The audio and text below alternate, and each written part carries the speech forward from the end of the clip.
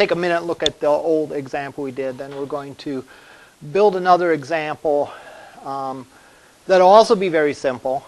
And we'll build on it, though. We're gonna we're gonna take this next, next example and do a bunch of different things with it.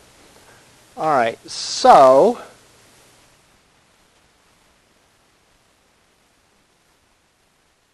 let me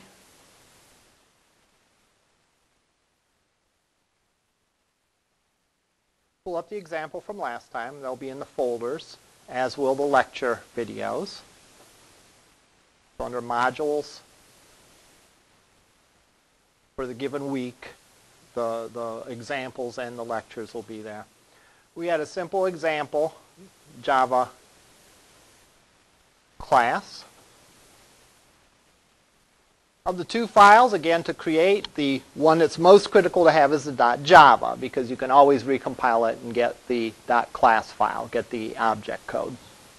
So, and so that's the one that you can turn in. Um, typically, just depending on goofy things like version and things like that, I, I need you to, to submit just the .java file unless otherwise instructed because I probably will recompile it anyhow as part of my process. Plus, I need to see exactly what you do. Remember, programming isn't all about getting the right results, but doing things in the best, best way possible.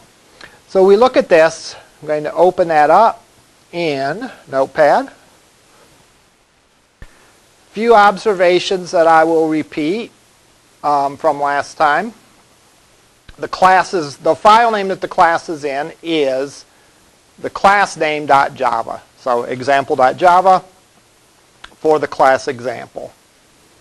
We have um, at least one of your classes needs a main method. And the main method is what runs when you start up the, when you run your app, when you run your class.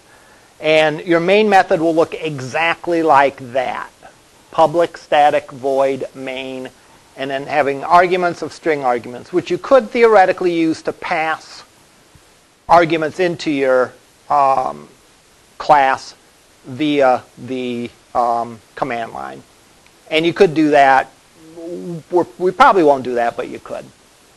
This particular example is doing something similar to the Madlib assignment that you have, um, where it gave me a card, gave me a single card from a deck of cards by generating two random numbers, um, one for the suit and one for the, the, the value of the card.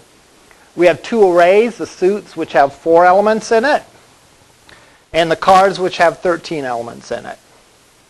We generate a random number. We use the length of the array to multiply by the random and convert that, or rather truncate that into an integer. Um, and in that way, we get a value from 1, I'm sorry, from 0 to 1 less than the number of elements in the array which is exactly what we want because that's how the subscript of an array runs. The possible subscript for the, for the suits array is 0, 1, 2, and 3. So the sub, possible subscripts from an array run from 0 through um, 1 less than the number of elements in it. So that works. We then use the system out to, to print the two random numbers, and we print a message saying what card they drew. To compile this, you need to go to the command line.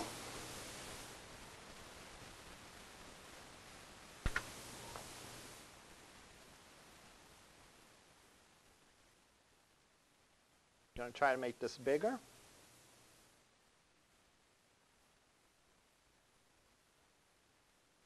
You need to get into the right folder.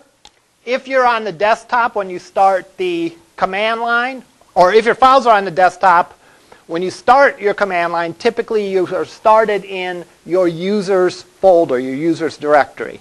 And the desktop is directly underneath that. So to get into the desktop, you typically would only type in C desktop, CD space desktop.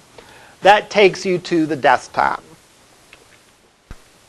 CLS is useful because that allows you to clear the screen. Sometimes if you're doing a bunch of stuff, you know, you could get confused and have old error messages and, and things along that lines. To compile, type javac space and the name of the Java class file, which is the class name.java. It will do its thing. No news is good news. If nothing pops up, then there is no error, and you should be able to run it. You run it by typing in Java and the name of the class that has the main in it. So in this case, I chose a 1 and a 4 randomly, and that translates to the 6 of diamonds. Any questions about this? Yes?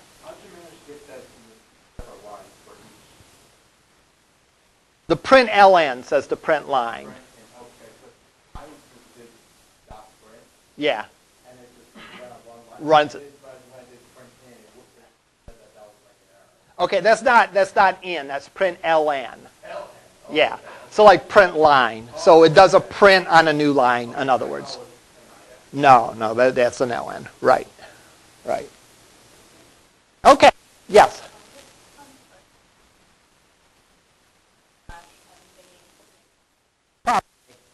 Yeah, you can you can escape. So if you did a backslash and, that would probably put on a new line. That should work as well. Save this as something else, and then we're going to do a little simple tip calculator. Tip calculator is as good as anything, right? Why not? All right, so I'm going to go up here, File, Save As. All files. We'll call this tip.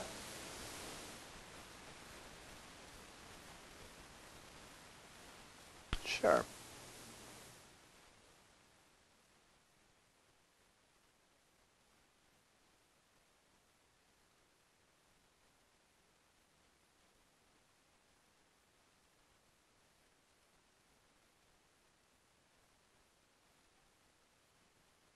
We might change the name of this class, but I'll worry about that later. So I'm going to go in and change the name of it here to match the name of the file name. And let's go in and let's make a decidedly not earth-shattering application. Let's define a double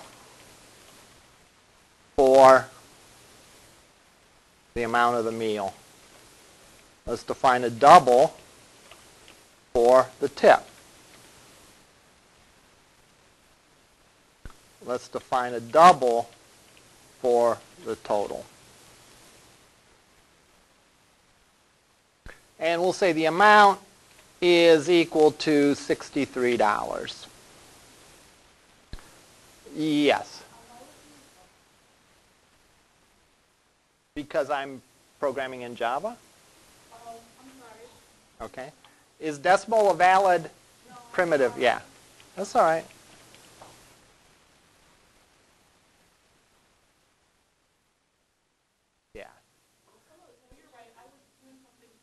Okay, yeah, you see, you don't confuse me like that. No, I'm, I'm just kidding. I'm just kidding. Yeah. All right, so I make it a double. I could, what I thought you were going to ask, and here, this is why I'm not a mind reader.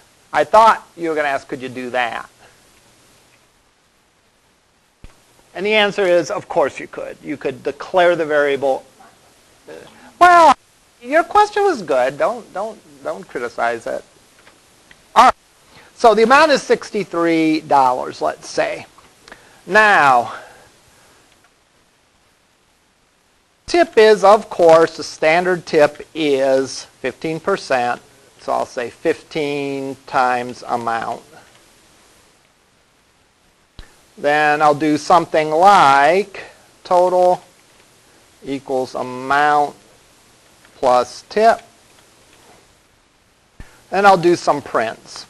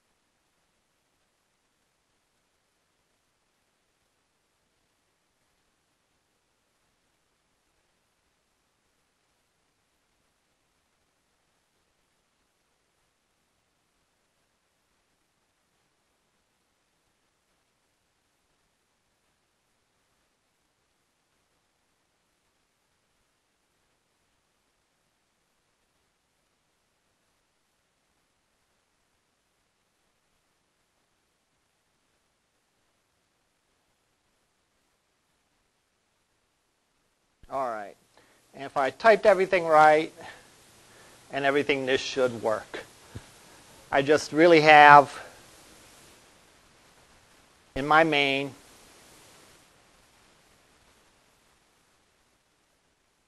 I have declared doubles for these things, did an assignment statement, did a calculation, did another assignment statement. Pardon me? Where am I missing a bracket?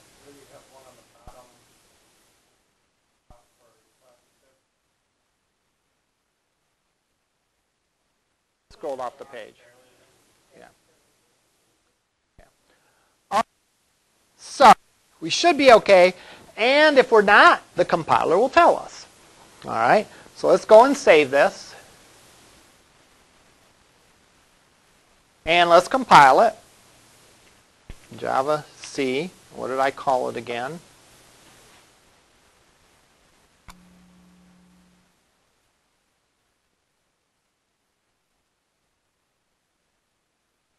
Indeed I did. tipcalculator.java.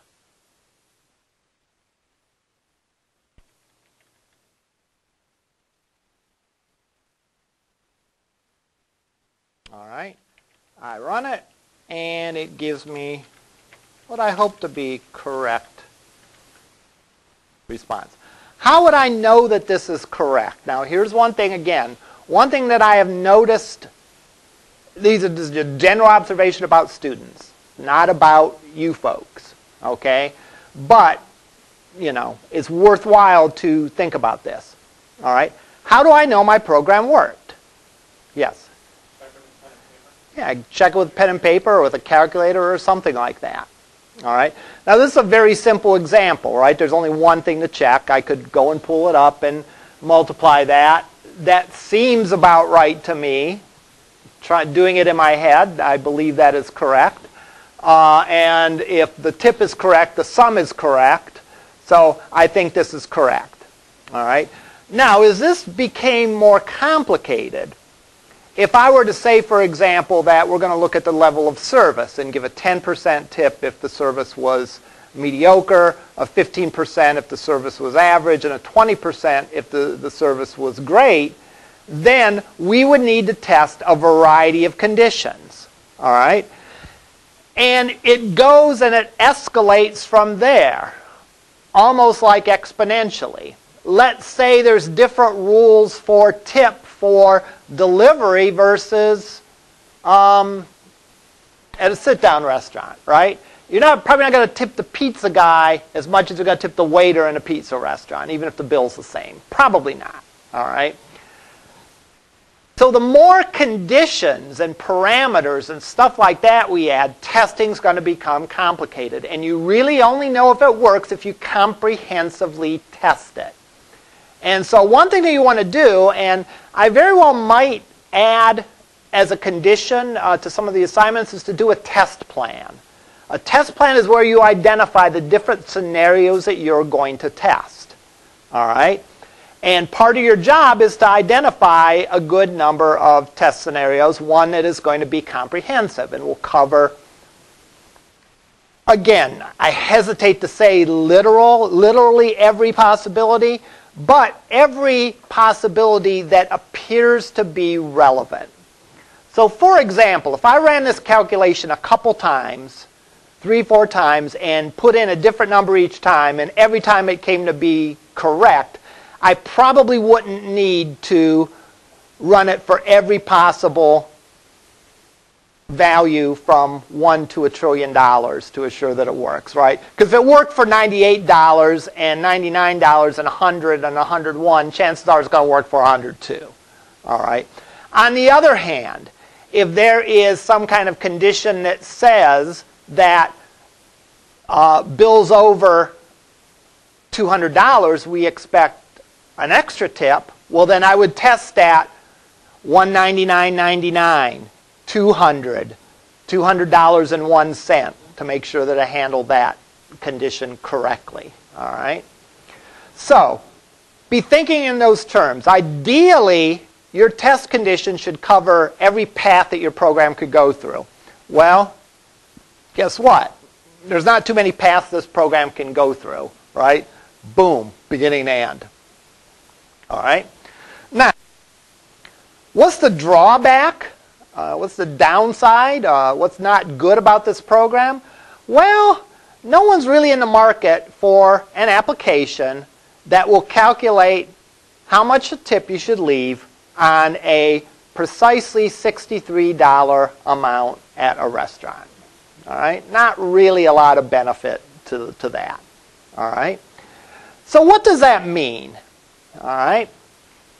Well, how would we actually make this into an application, a real application? All right? Yeah, you'd probably tie this to a GUI, in other words. All right? You'd tie this to a GUI. In other words, you'd have a text box for someone to enter in a value. All right, maybe this would be a Java app, or maybe it would be an app for Android, because Android uses Java as a programming language. But there'd be a place for you to enter in the amount, maybe some kind of place to select the level of service that you got. You'd press a button, and then boom, this code would click in. All right. If you look in the syllabus and you look in the book, we don't talk about GUIs for a long time. All right? So what are we going to do? What we're going to do is this. We are going to create little test programs to test our code. All right? We're going to create, when you create these classes, effectively you're creating components. And these are components that you can plug into anywhere. All right? How many of you happen to have headphones with you? All right, one. We'll pretend I do. Two, I do. All right, and let's imagine some of you other folks did. Whose headphones would work in this computer? Everyone's. Why is that? Well, because the headphones is a component. As long as it fits certain characteristics, you can plug it in anywhere that you want. So this doesn't work simply for one brand of, of, of uh, headphone or whatever. It's written as a component so you can go and plug stuff in. So anywhere you need headphones. So the computer has a place to put headphones in. Phones do. Walkmans do. Um, the um, control panel at Duck Radio has a place to plug in headphones. All right? Any place that headphones are needed, anyone's headphones are going to work because you just plug them in and boom, they work. Our goal for software is to create components where we can plug them in wherever we need that bit of functionality and it will work. So let's think about tip calculation. All right? It's pretty straightforward. It's pretty simple. But if we think about it, it doesn't take too much of, a, of imagination to figure out um, how within an app, we might use a tip calculation in a couple different places. All right? We may have a tip calculator. That is, you enter the amount, you um, type the level of service in, you make a selection from a list of service, uh, level of services, whatever. You click the calculate button and it gives you what the suggested tip amount is. That's one usage of it. You might have your application prepare a tip chart. You know, sort of like one of them old school things. Like you used to see them like on the back of like business cards and all that. That they'd have like, here's a calendar and a tip calculator. Buy insurance from me or something like that, right? So we could have our application print a chart that said tip and had maybe a dollar amount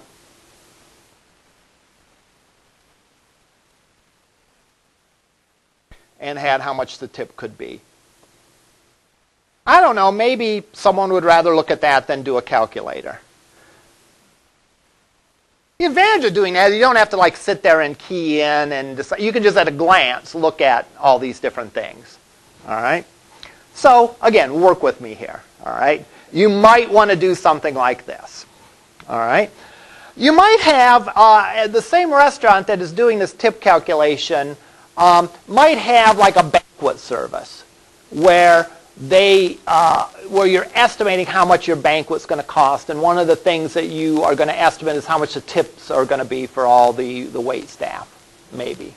All right, so you know it might do the calculation on that page. That if you if you're having if you're planning a party of, of 15 at the, at the restaurant, here is the suggested tip value that we would expect, just to let you know. The idea is, is that almost any piece of functionality you can think of places where it potentially could be used. All right? And the idea is, is we don't want to have to reinvent that functionality. We don't have to, we don't want to make a special tip calculating class to, to, to calculate average service tips and exceptional service tips and poor service tips or tips for $63, tips for $98, and so on and so on and so forth. Typically, this is going to be connected to some GUI, this component. And the GUI will feed the component with the information it needs to do its job, and it will display the results. So what we're going to do is this. We're going to use test classes instead. And what are test classes? Test classes are classes that are going to test the components that we build to make sure that they're correct. So, from second assignment on, you're not going to have only one class. You're going to have at least two classes. You're going to have the component that you're building, and you're going to have the class to test that component. All right? So, another, what I'm going to do is I'm going to change the name of this guy to test. I said I was going to change the name of this. So I'm going to change the name of that class to test. Tip calculator test. And I'll go and change the name of the file as well.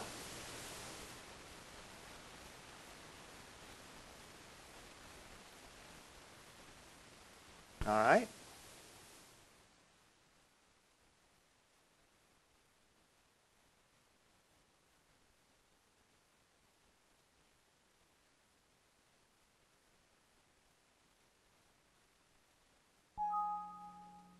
All right.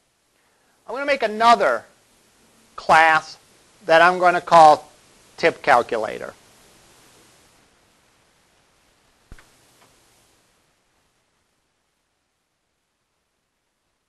Now this class doesn't have a main in it. This is a component. And remember, what's the idea of a component? A component is something we can plug in anywhere. So this isn't going to be a standalone class. Just like headphones aren't like a standalone audio component. You got these headphones. Oh, great, I got these headphones. You don't really work or do anything unless you plug them into something. Yeah, I, I guess. I guess. Or if you want to pretend you're busy so that like, yeah. So, but for the most part, they don't really perform their function unless they're plugged into something. And that'll be the same idea here. So I'm going to have two classes here. I'm going to have my component that I'm building. That's called the tip calculator. Now, everything about calculating tips for my organization is going to go here. Every single thing about calculating tips is going to go here. So if my tip calculator wants to accommodate delivery versus dine-in, if it wants to accommodate good service, mediocre service, poor service, if it wants to accommodate parties over eight, have a special suggested tip amount. Any of that knowledge about the tip is going to belong in this class okay, and only this class. When I do that, this will become a component. And I can plug that component into any application that I want to, or any other class that I want to that needs to do a tip calculation. So thinking back to my app that's going to generate a tip table that looks like this.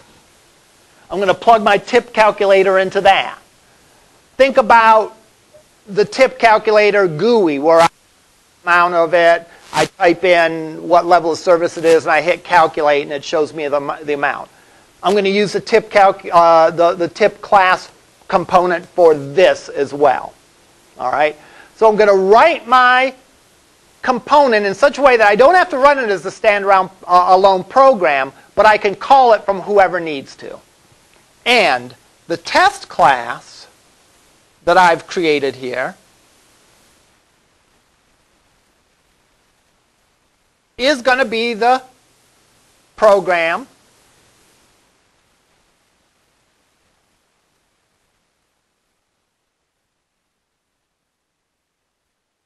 that I'm going to run it from, that I'm going to test it from.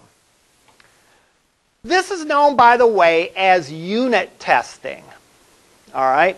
Unit testing is where you test a component. System testing is where you test everything together. All right? So let's say you bought from a store a, a fancy computer system that contained speakers and headphones and monitors and all kinds of cool stuff. An example of unit testing might be the person who's building the computer for you, let's say, let's say they're custom building it, to take the speakers that they're planning on giving you and plug it into a jack and make sure that they work. All right? That would be unit testing. I'm testing that one component. Then there might be a test to make sure the monitor works. Then there might be a test to test that this component works and that component works. So you can test components individually to make sure that little piece of it works. All right? However, if the person building the computer for you is good, they're also probably going to do a system test. And what's a system test? That's when you put all the components together and make sure that the whole thing works as a unit. All right? My speakers could work, and I still might not get audio from my computer. Why not? Well, a bunch of reasons. All right, there's a bunch of reasons why that could be. The point is, is if you troubleshoot and you identify that the component works, if it stops working when you put it together, you know that it probably has something to do with the way that certain things are connected or whatever, and it can help you with troubleshooting. So at any rate, our tip test, tip calculator test is going to be a, become our unit test. In fact, let's call it that, unit test.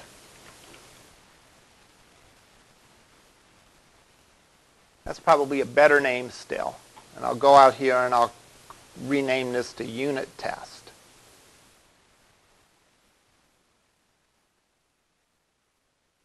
Because it's going to test my tip calculator class.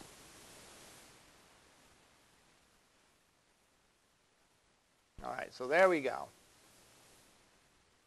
Now, I'm going to make my tip calculator class you know, put something in it. All right? I'm going to put a method in it. Classes can have two things. They can have attributes and they can have methods. And we'll talk more about this, but to start out, I want to do a method. And all I want to do in this method is duplicate the simplistic functionality we had before. And that is, you give me the amount of the, of the meal, and I'll tell you what the suggested tip is. All right? And that's all it will do, and it will just assume 15% for a tip. We'll later expand this to include other parameters too. So I'm going to create a method.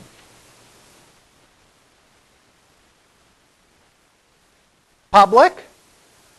Public indicates that this method is available from the outside world. All right? Which, if you think about a component, a component should have at least some public methods. All right? Because the whole idea of components is using a component in different places to do some particular task. So there sort of needs to be a public method so that the outside world can talk to this method and can talk to this class. So it's going to start out public. Why would I make a method private, by the way? Can anyone think of a case where a method would be private? Maybe some kind of security. Keep in mind, we're not talking about other users knowing about this. We're talking about other programmers, other people accessing and using our code. Well, again, you, know, we're talking about people that are working in your development team. So if they have the code, then that's probably not an issue. Well, not necessarily.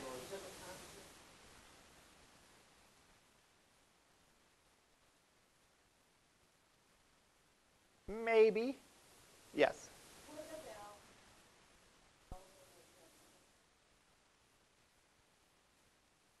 Probably not. Pardon me? That's a good question. I'm not sure if that that would have an impact if you declared it private. I'm not sure how internally that would get uh, affect the storage. Yes.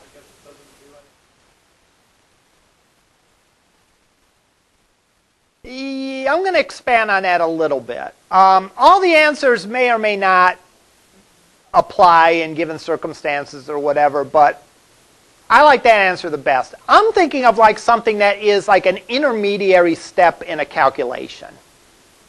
All right? That to calculate something, maybe you go through three or four steps. And the outside world may say, calculate this. And the class might have three or four steps it goes through before it comes up with the final answer. And in those cases, those three or four steps might be part of a process that you can't outside world will have no need to call like one of those steps. You're either going to call the one function or you're not going to call any of them. So sort of like an intermediary step where it's a piece of code that's needed to do the job, but the outside world doesn't need to worry about it. All right? So you'll make your methods public that you want the outside world to see, sort of things that are like internal to the um, uh, process, you uh, make uh, private. A great example of that, I think, comes from the world of hardware again. Notice when I talk about a headphone jack. What is the public method for a headphone jack in a computer? It's the little socket in the uh, little audio out socket that you plug into. In other words, you do not have to open your computer case, strip the wires of your headphone, solder it onto the sound card or something like that. Why wouldn't you do that? Well, you know, there's a lot that could go wrong if you do that. They provide you, who's using these components, and again, remember, we're talking about programmers, not users, but still, in this context, the programmers are using components that others have written. And the idea is, is we're still going to protect those people from doing damage by going in, trying to subvert the normal way and jumping in on the middle and soldering onto a sound card instead of just using the plug-in. So for the most part, though, the methods we're going to create are going to be public because we want the outside world. What's the next thing that we define with a method? Well, if it's static or if it's not static. In this case, this is not going to be static, so we don't need to say anything there. We, the return value, the type return value. And what would that be? Double.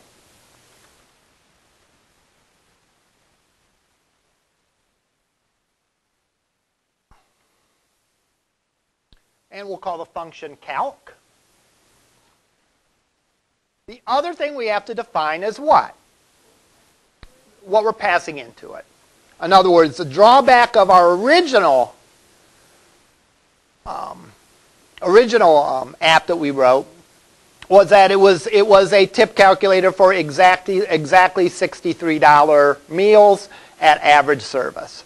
Well, we might want to um, you know change that up a little bit. In our GUI, we're going to get that value from a text box. In our test class, we may run through it a couple different ways. We might run a random number generator and just randomly generate meal costs from anywhere between 10 and $200. We could do that. We could run a loop where we tested every dollar amount from 1 to $300 and, and verify that that's correct, whatever. All right? But the idea is, is that somehow this class is getting the value that it's doing the calculating on from the outside world. All right? And in this case, it's an argument. We specify the type of the argument. I usually like to precede the arguments with arg.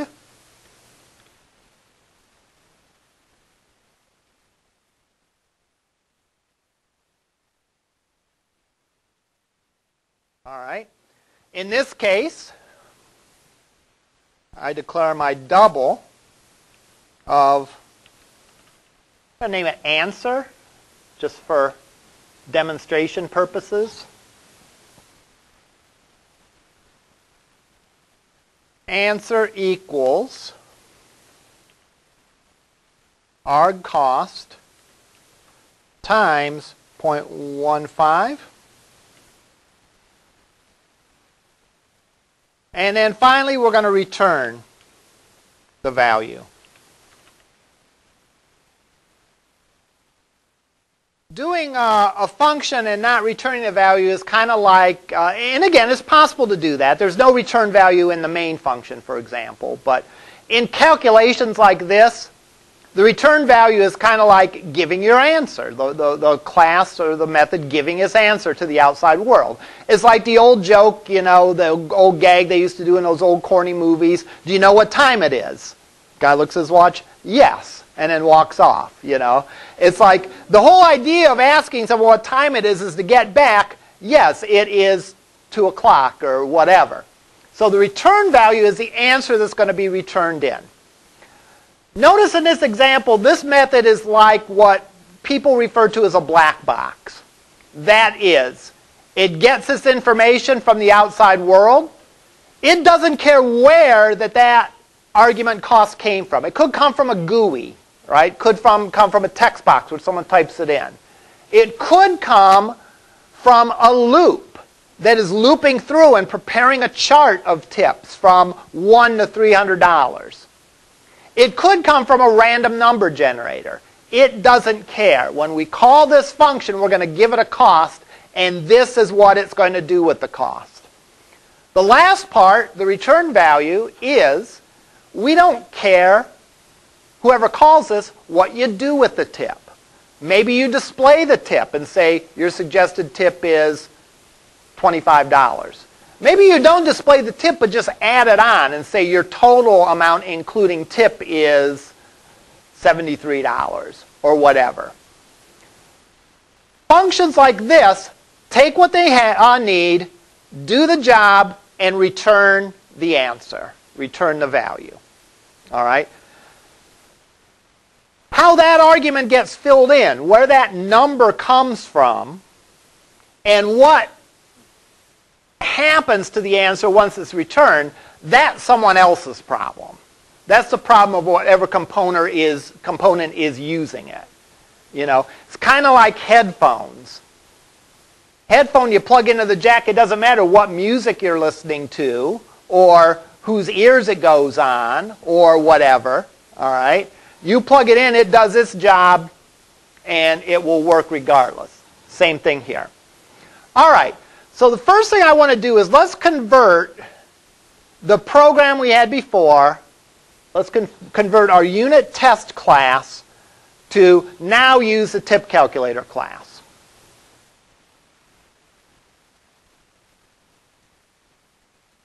We have to declare another variable.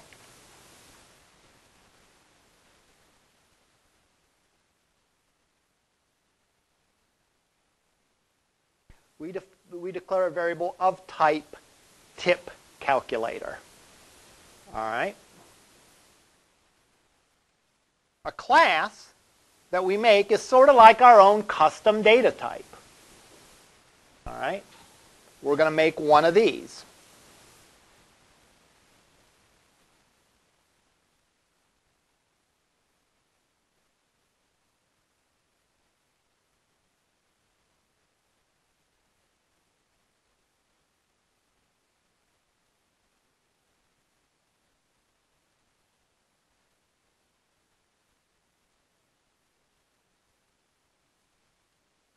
Now, some terminology I heard someone say. This is a class. Think of a class as a template for this sort of thing, this calculating a tip. It's like a data type. All right, we're going to do a tip kind of calculation. And this is a template for that. TC is a variable. All right, it's called an object reference variable. It relates to a specific tip calculation. So, let's think of another scenario where we could use this in, in a real application. Let's say you go and you have, you're eating with four people and they all have separate checks. All right? You could have, instead of one tip box, or check uh, text box, you could have four text boxes, one for person A, one for person B, C, and D. You put in their amounts, click the button, and it tells each of those people how to calculate their tip. In which case, there's one tip class, because there's one set of rules for determining a tip, and that is contained in the tip calculator class. However, we have four individual specific tips that are calculated. So we would have four objects in that case. Tip object for person B, a tip object for person C, for person D, for person A, whatever. All right, yes?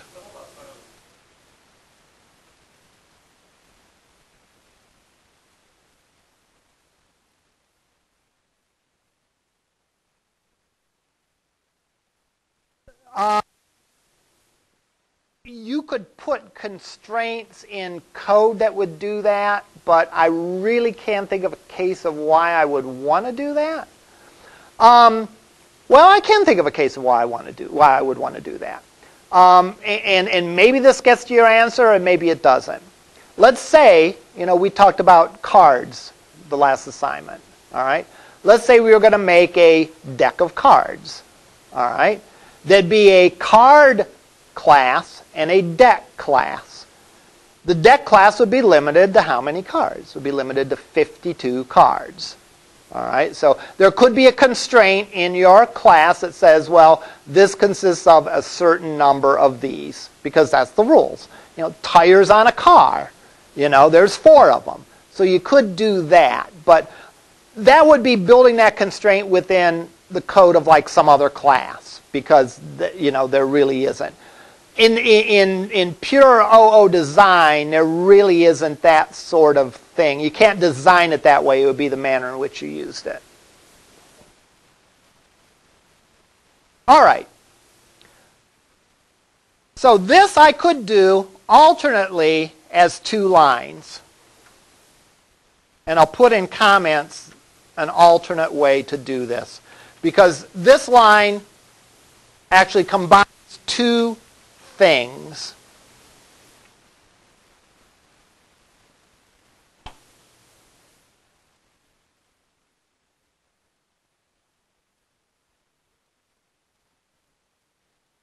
I don't need to both. That's why I comment one of them out. But this does these two things in one line. Let's look at this step by step. Tip calculator TC. What that means is I'm going to have a variable named TC. Kind of like this says I'm going to have a variable called AMT. What is the difference, though? There's a couple differences. One difference is, in this case, I'm making a primitive. What's a primitive in Java? A primitive is just a data value that really all it has is a value. This I'm making was called an object reference. And an object reference can have properties and methods. It can be a bunch of stuff associated with an object. Whereas with a primitive, primitive implies simple, basic. There's only one thing, the value. So here I'm creating a variable called TC that is of type tip calculator, which means TC is the object Tip calculator is a class. So put a tip calculator object, actually an object pointer or an object reference in the variable TC. At this point, there is nothing in TC at this point, like right here. If I try to do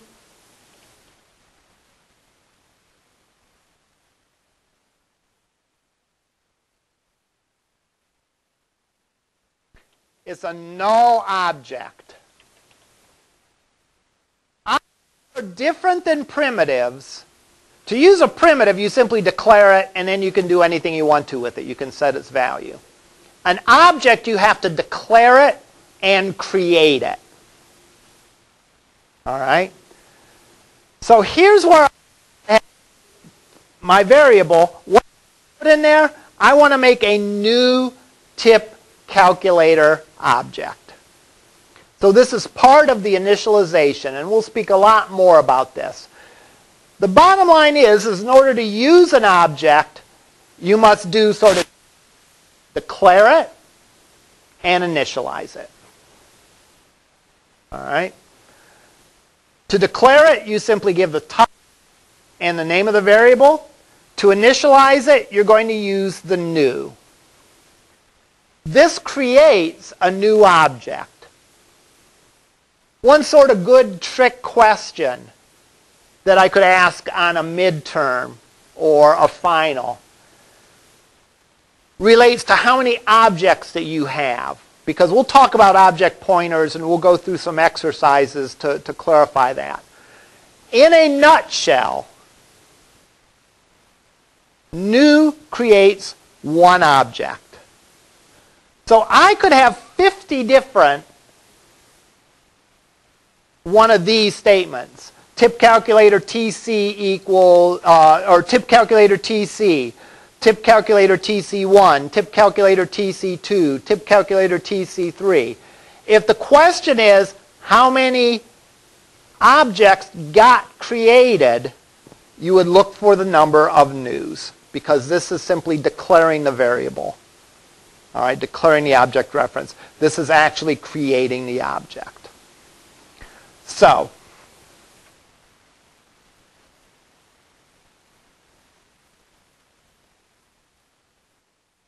there's sort of two steps in that. Declaring the variable and initializing the object.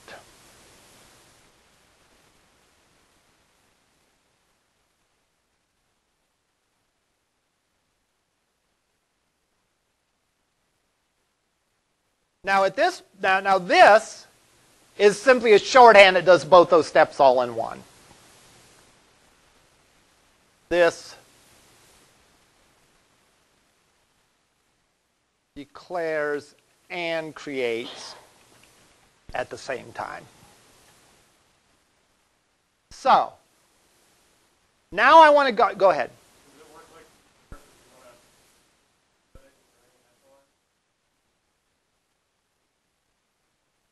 Yes.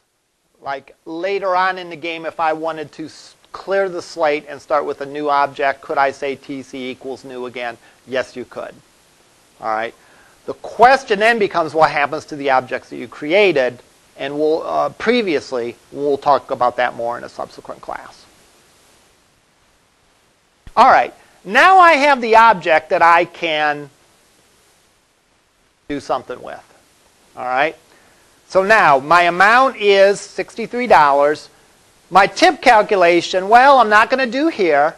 I'm going to ask the tip object to calculate the tip.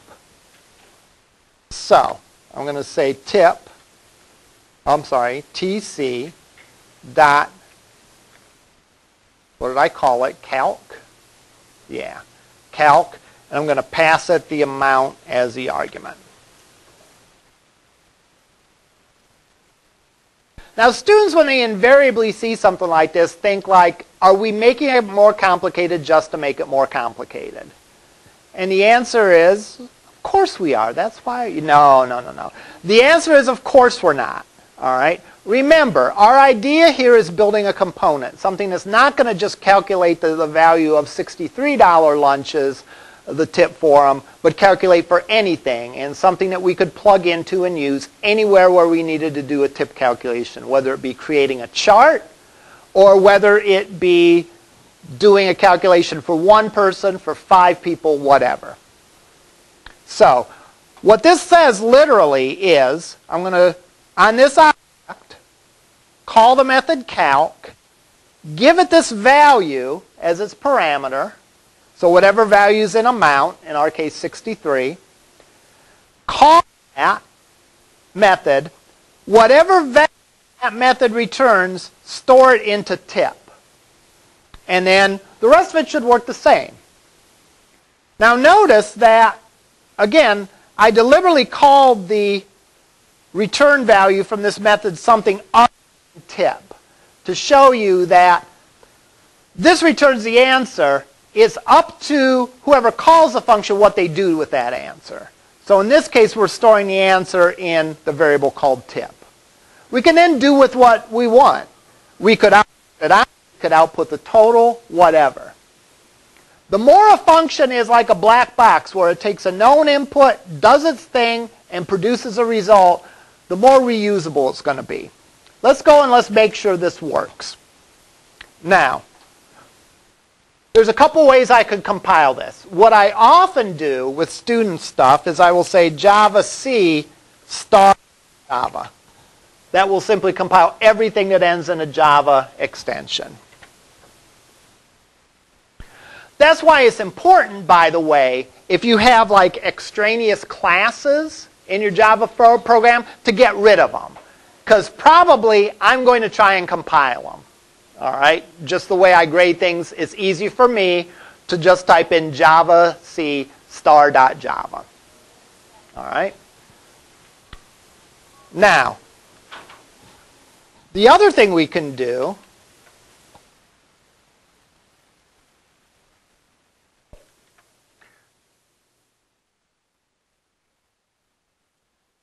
So I got rid of all the classes.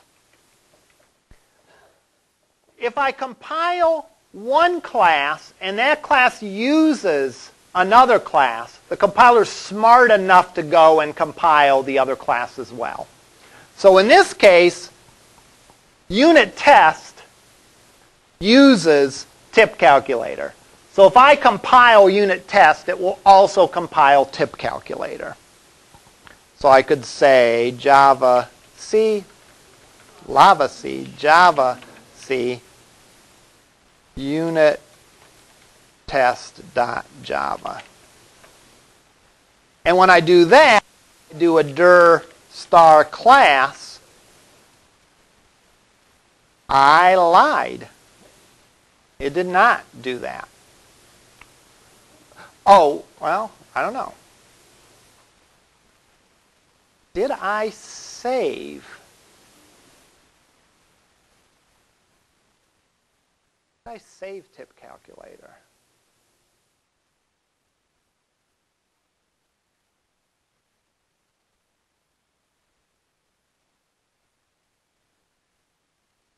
I don't think I saved tip calculator, so there was nothing to compile.